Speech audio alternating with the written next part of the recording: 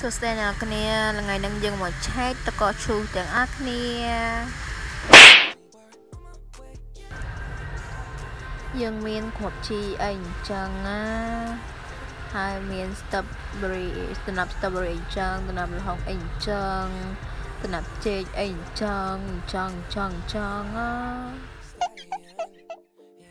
តមកខ្ញុំទៅដាក់ចានដើម្បីមកនឹងទេព្រោះថាខ្ញុំអត់ចូលចិត្តញ៉ាំតំណាប់ចេកទេយល់ទេយល់ទេ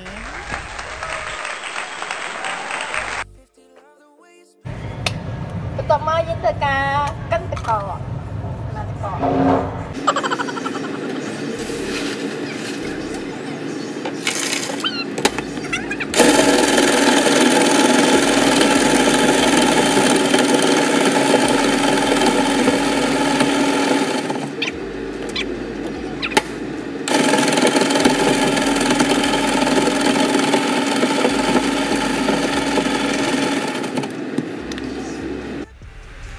លើកិនតកហើយហើយឡើយយើងធ្វើការដាក់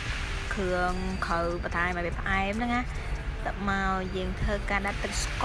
រដាក់តិចបានហើយព្រោះខ្លាចវាផ្អែមណាតែមកខ្ញុំធ្វើការដាក់ទឹកសេរ៉ូសេរ៉ូមកញ៉ាប់តិចបានដែរព្រោះខ្ញុំចូលចិត្តទឹកសេរ៉ូទេតែមកខ្ញុំចូលចិត្តទឹកដោះគោអញ្ចឹងដាក់វាច្រើនច្រើនច្រើន